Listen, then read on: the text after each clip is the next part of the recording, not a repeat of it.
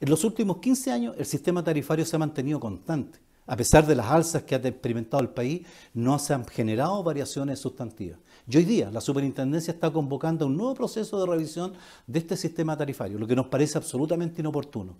El marco de la pandemia, la situación económica del país y de nuestra región, por cierto, hacen necesario que este sistema no sea revisado hoy en día. Al contrario, cualquier efecto que se haga en este ámbito debería estar orientado hacia eventuales rebajas pero bajo ningún punto de vista a cambiar las tarifas hacia el alza.